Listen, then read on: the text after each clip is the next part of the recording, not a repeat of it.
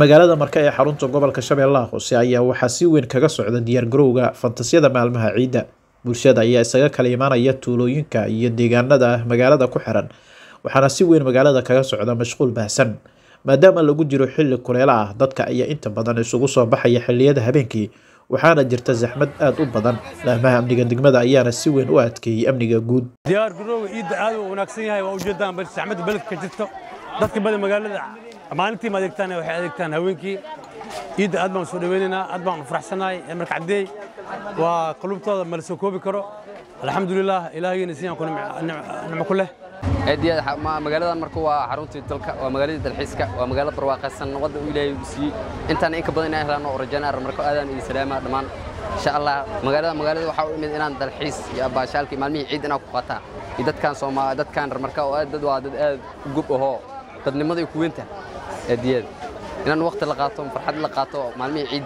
Iyo dhammaan waan salaama dhammaan ummadda muslimiinta oo meel walba joogaan. Dadka oo danyarta daa waxooda qiimihii hore haddaa qiimo waa ka sii dhimeyne waa u jeedaa khamiisadii oo aan ku toli jirnay labaatanka dollar.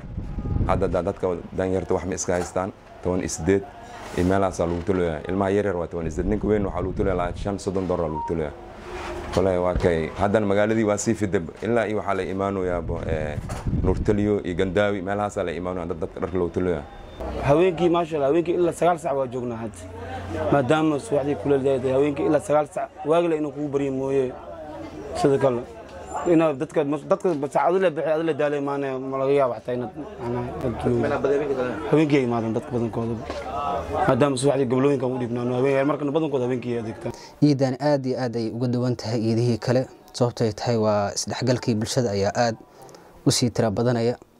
Markii laga soo kuusaday colaadihii iyo wixii jiray sanadkani aad iyo aad ayay magaalada u shidan tahay. Waxaan rajeynayaa inay saan iyo si ka fiicanba ay noqon doonto. Cabdulaahi nuur cali shaacir gudoomiye ku-xigeenka arrimaha bulshada degmada ayaana bogaadiyey laamaha amniga isagoo bulshada ugu baaqay in ay la shaqeeyaan.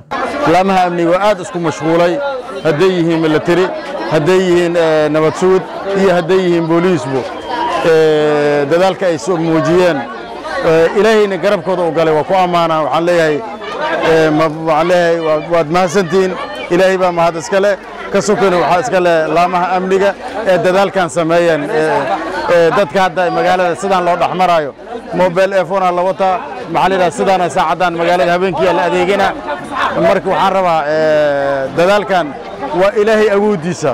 Ka sokone macnaha waxaa sameeyey laamaha amniga oo dadaal dheere ee qurax badan sameeyeen. Aways muumin xasan aweys okey warbaahinta qaranka shabeellaha hoose